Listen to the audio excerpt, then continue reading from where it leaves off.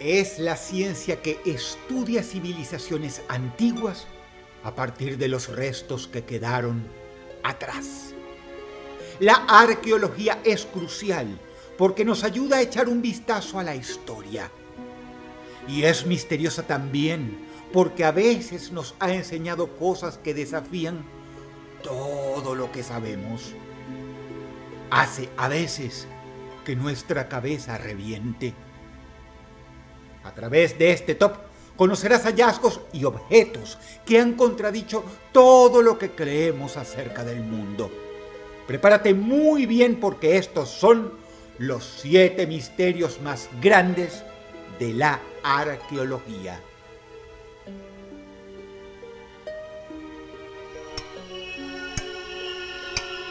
Número 7. La historia del objeto que abre las puertas a este top es espectacular.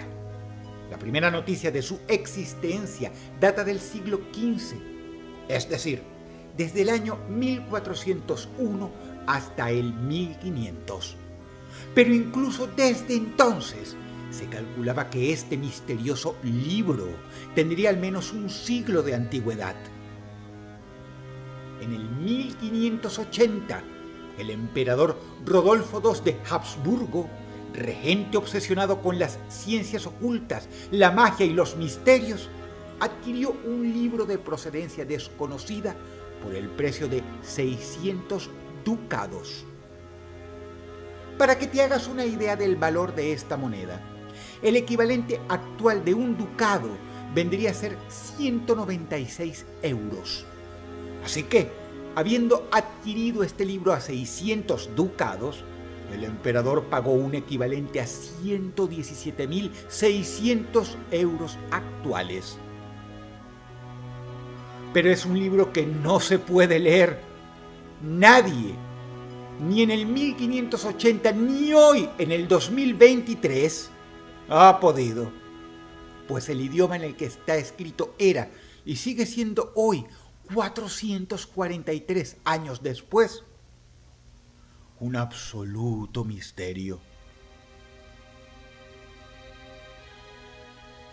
Si tenemos en cuenta que lenguas y jeroglíficos de antigüedad extraordinaria han sido descifrados por completo, el hecho de que aún no se puede interpretar el texto de este libro es tan extraordinario como perturbador. Y aún así, lo que te he dicho es apenas la punta del iceberg.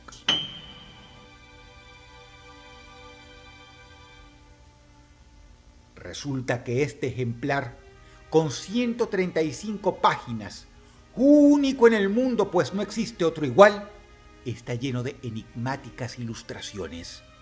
Por ejemplo, muestra plantas y hierbas que la ciencia botánica no ha descubierto.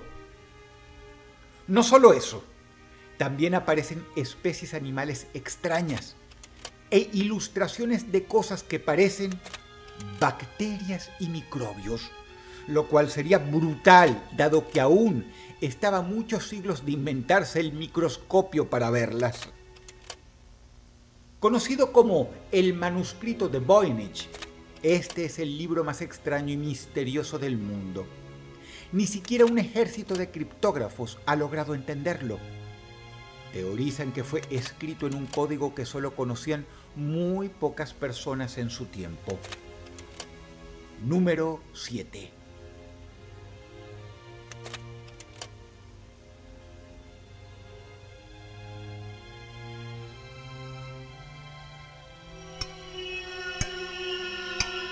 Número 6.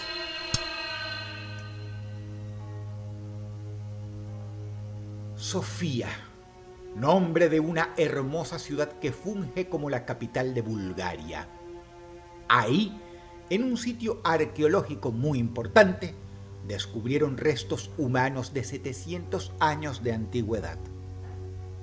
Esos huesos mostraban algo absolutamente increíble. Tenían estacas clavadas en el corazón y la garganta.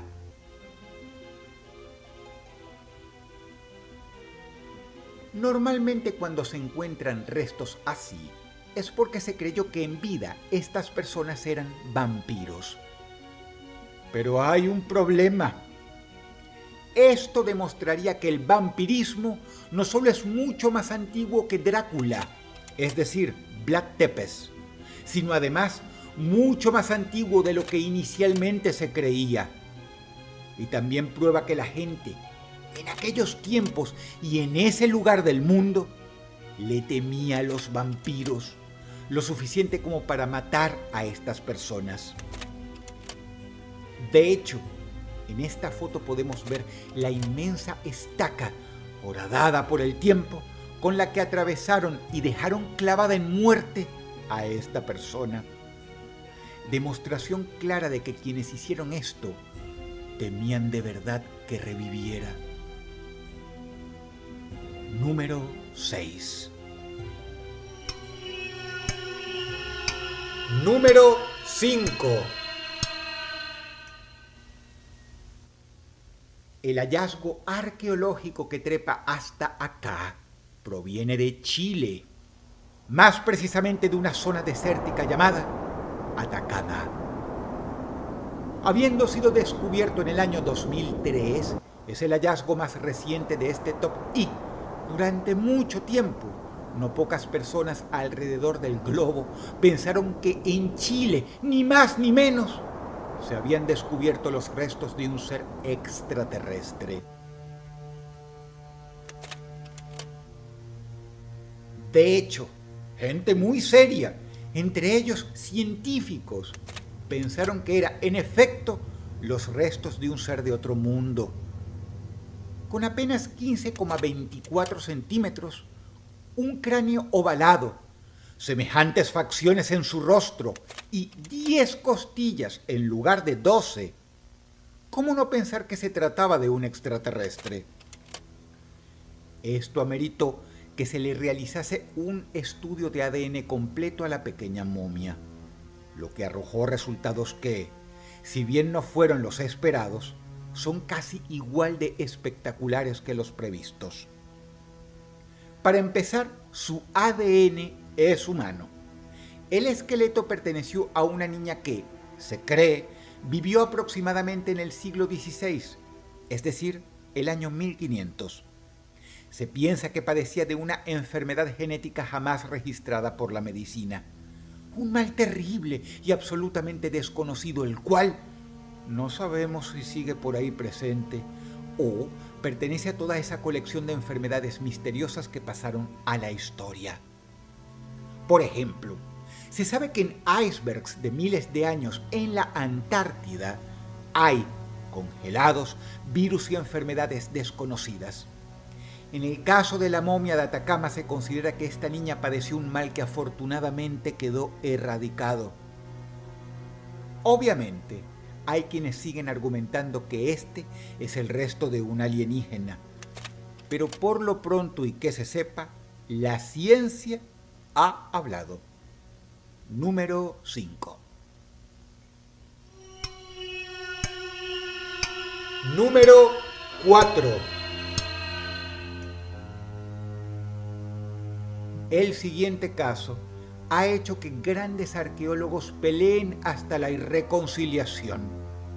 No es para menos. Este descubrimiento, hecho en el año 1936 en Irak, lo cambiaría todo.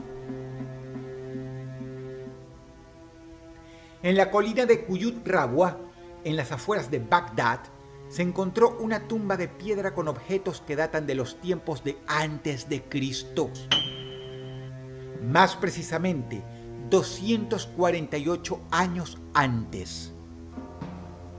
Entre recipientes misteriosos y figuras de arcilla, consiguieron una serie de jarrones pequeños. Para que te hagas una idea, el principal medía 14 centímetros de alto por 4 centímetros de diámetro en el interior había un cilindro de cobre que daba la impresión de haber estado revestido por una fina capa de plomo. En el año 1938, el señor Wilhelm Koenig, al examinar los hallazgos de sus colegas iraquíes, identificó este objeto como una pila eléctrica. Imagínate la cara de piedra de los colegas de Koenig, quien encima era considerado el mejor arqueólogo de su tiempo, cuando dijo que el objeto que tenía entre manos, construido de los tiempos de antes de Cristo, era una pila eléctrica. Los científicos entonces introdujeron un electrolito en el interior del objeto y lo conectaron a una lámpara, que, aunque débilmente, se encendió. Por lo cual, si bien no se animaron a sentenciar que lo que tenían entre manos era una pila eléctrica, sí colocaron en el reporte final que se comportaba como una. Desde entonces el tema se ha prestado para intensos debates que superaron incluso las fronteras de la ciencia arqueológica. Un ingeniero llamado Willard Gray replicó con materiales exactos la denominada pila de Bagdad. Para ello, de manera marcial, utilizó estrictamente los mismos materiales del objeto hallado en Irak y consiguió fabricar de manera casera una pila que generó entre 1 y 2 voltios, lo cual para muchos confirma que este objeto es una pila creada mil años antes de la aparición de la primera pila. Número 4.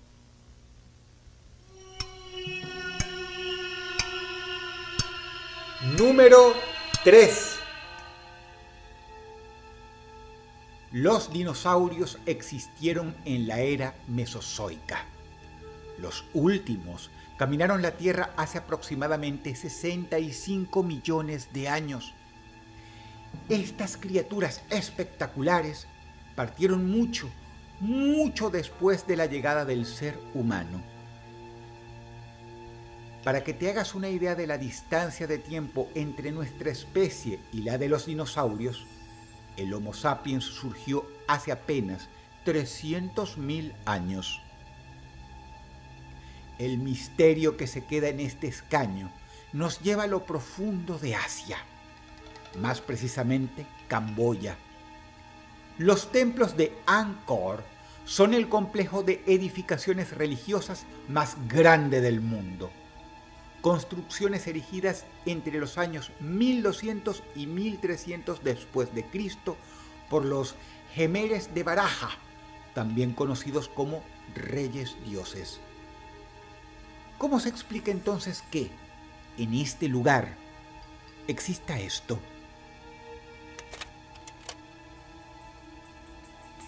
¿Tienes idea de lo que significa? Se supone que el ser humano encontró el primer fósil de dinosaurio en 1677 recién. Y aún así tuvo que pasar tiempo para que numerosos científicos ilustrasen qué aspecto tenían en vida estos animales. ¿Cómo es posible que estos nativos tuvieran una imagen tan clara de los dinosaurios en el año 1200?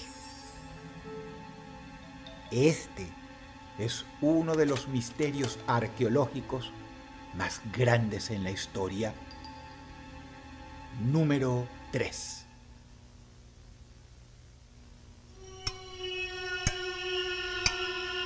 Número 2. Año 1921. Lugar, Suiza. Un minero llamado Tom Swigler hizo un hallazgo. A 18 metros de profundidad consiguió el cráneo de un homínido primitivo, es decir, alguien que existió hace más de 100.000 años. En este caso, el homínido en cuestión descubierto por el minero suizo tenía entre 125.000 y 300.000 años. ¿Cómo era el mundo hace 300.000 años? Nadie lo concibe. Inconcebible es también que el cráneo de un homínido que caminó la Tierra en aquellos tiempos tenga un hueco de bala.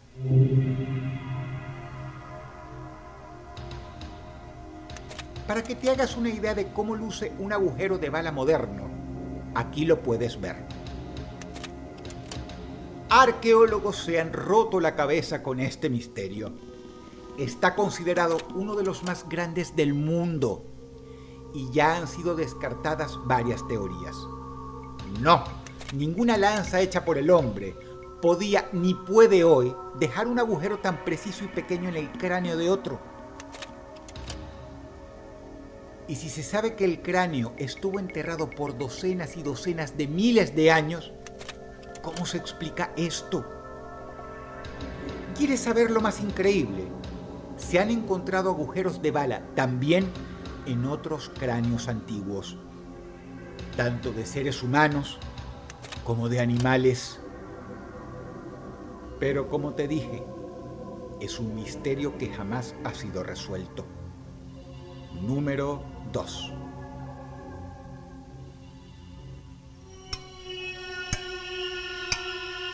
Número 1. muy como otros misterios arqueológicos, lo que se queda en este escaño del top no debería existir. Por eso ha puesto de cabeza a la ciencia arqueológica y a todos aquellos quienes entienden lo espectacular que es este misterioso y perturbador hallazgo. La era precolombina refiere al continente americano antes del arribo de Cristóbal Colón en el año 1492. En esos tiempos, el material que conocemos como cristal era absolutamente desconocido. Ni qué hablar de tener las delicadas herramientas mecánicas para trabajarlo, pulirlo, tallarlo, darle una forma. El explorador británico Frederick Albert Mitchell Hedge se hallaba en un país del cual no escuchas mucho, Belice, más precisamente en Punta Gorda.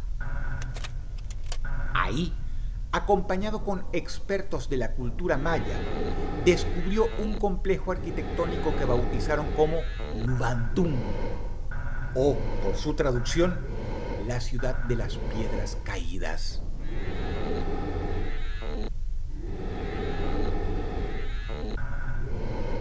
Hallaron una de las poquísimas cosas en la historia de la humanidad capaz de desafiar a la ciencia misma.